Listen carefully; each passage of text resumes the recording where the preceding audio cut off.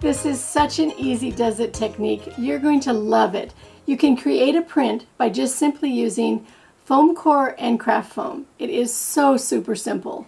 I'm making my own stamp today and all you have to do is just go to the internet, get some clip art, and you can come up with all kinds of wonderful different designs, designed for what your cause is, what you love, and it's just so simple.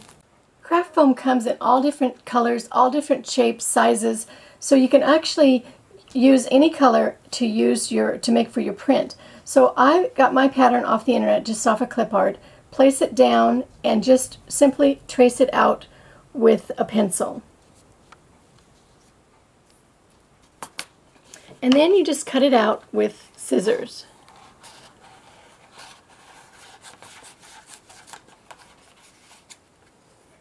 And I want to show you a little trick when you cut craft foam. You don't want to just snip, snip, snip because then you're not going to get a really nice smooth edge. Start at your top of like your wheel, go to the back of your scissors, and then cut all the way. And if you have your scissors stand still and you move your project, it gives you a much better edge. Again, back of scissors all the way around. That's a Heidi tip. Now for the inside edge, just simply take a craft knife and just cut out all the extra, whatever you can't cut with the scissors. You can also just cut in, you know, like this and take your scissors and go in and cut around. So cut your pattern out completely until it's like this.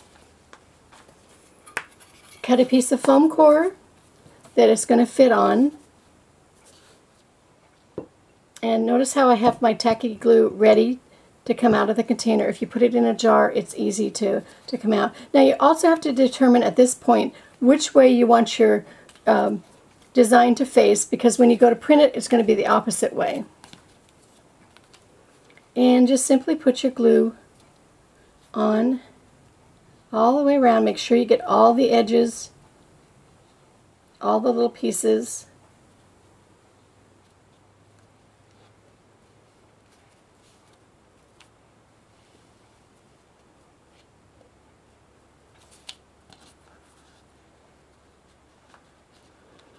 Now, if you have a little point here where it doesn't have glue, it's not going to stick, and the more you use the, the print, that'll come up.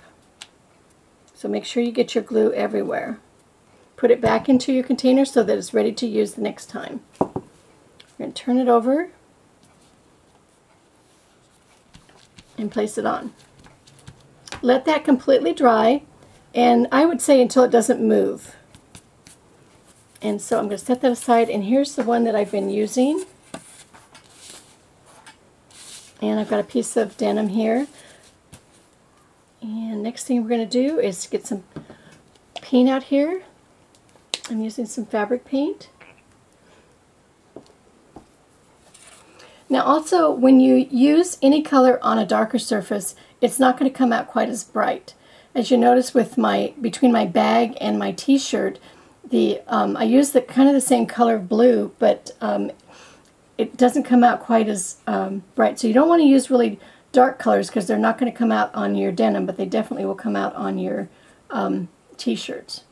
So I go around and just really put the, you have to, when you have a large print like this, you have to make sure that you have the paint on because it will dry. So get a lot of paint on and then you can go and finish it get it on better, just get it on there first.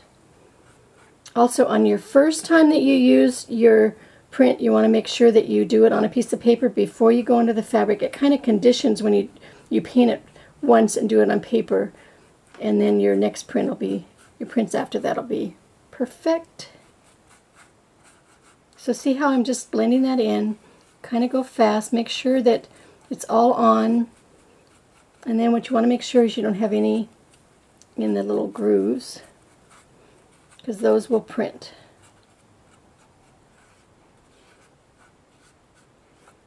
See, is everything covered? Whoops, right there. Smooth it out. And we are ready to print. line it up and push it down. And notice here too that I push, I put a mark on my, the back of mine, the top of my print and the sides so I know as I, if I was going to line up several of them, I'd know how to um, space them.